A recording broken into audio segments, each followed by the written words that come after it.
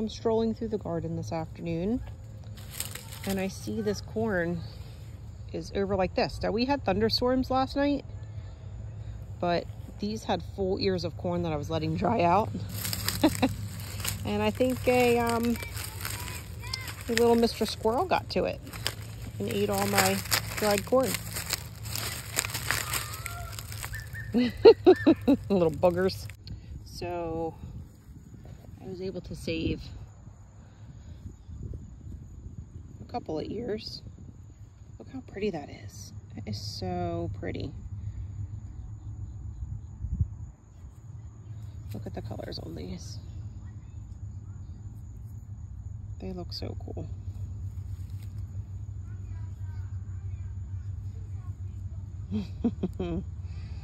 Got one weird colored look one in there. That looks so cool. And this one is, not really sure what's happening here. I know there's a bad spot and I don't know if it didn't get pollinated here or the little critters got to it. And then the, the ones that the critters got to. Looks like it would have been a pretty ear of corn. So pretty. Don't mind the kids in the background. They're busting each other's chops about something.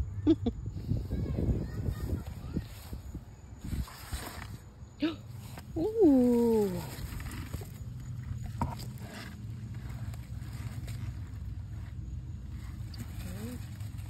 guess my bucket trick worked. Those guys. Nice and soft. Let's see. Oh, little tart. Let's try this one. Dang it, they were tart. Ugh.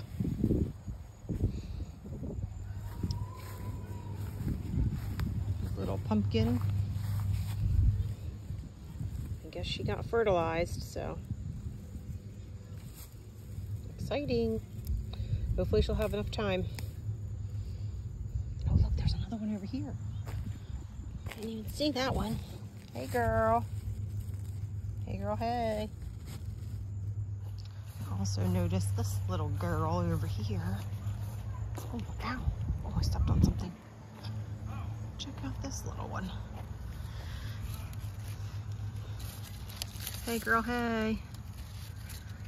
And so, I keep hitting my head on this guy. So, what is that? Oh, I got a few more up here.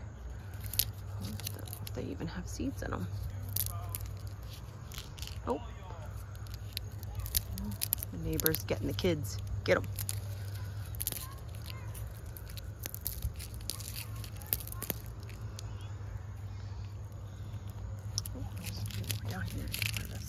So I didn't get enough of these yard long beans to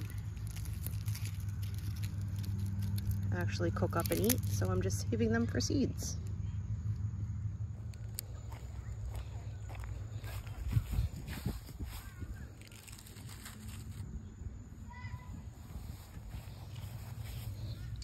Oh man, these guys fell off.